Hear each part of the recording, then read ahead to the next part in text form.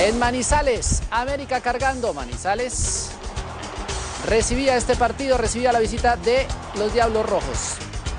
Tapa Gómez a Vanegas, tapa Gómez a Carlos Ortiz, excelentes tapadas, pero miren la que se le fue.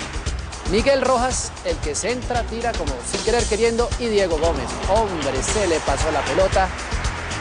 Gol del Once Caldas y con ese gol ganó el partido, aunque el América estuvo cargando en otras ocasiones.